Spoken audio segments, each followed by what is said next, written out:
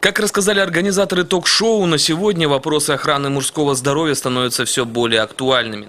В частности, проблемы, возникающие в области репродуктивной функции молодых мужчин, тщательно скрываются самими представителями сильной половины человечества. В основном это происходит из-за неграмотности населения по части мужского здоровья и нежелания подростков показаться слабыми даже перед врачами.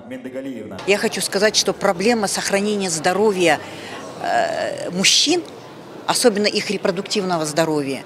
И проблема сохранения здоровья наших мальчиков, когда они идут в армию, они должны идти в армию здоровыми и возвращаться оттуда здоровыми. Поэтому на сегодня акцентировать внимание именно на здоровье молодых людей, именно на здоровье будущих отцов, это очень важно.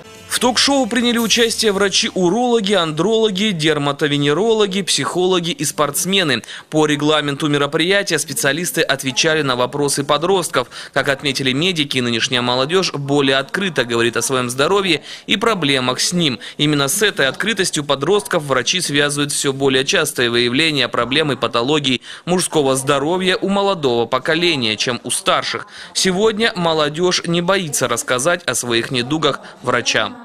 В основном э, у нас э, контингентом этого возраста у нас являются дети с аномалиями развития, дети с поздним половым созреванием, иногда с преждевременным половым созреванием, вот, с какими-то э, ретардами, задержками полового развития.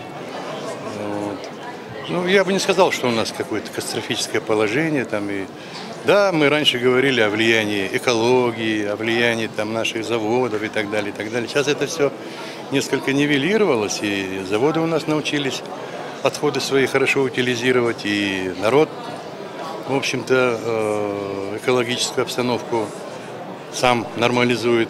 Актюбинские медики ранее уже проводили ток-шоу «Поговорите с доктором» по вопросам здоровья девочек. Как рассказали представители облздрава, в связи с тем, что ток-шоу стало популярным среди подростков, подобные встречи будут проводиться на регулярной основе. Антон Пережогин, Алексей Уразов, программа «Факт».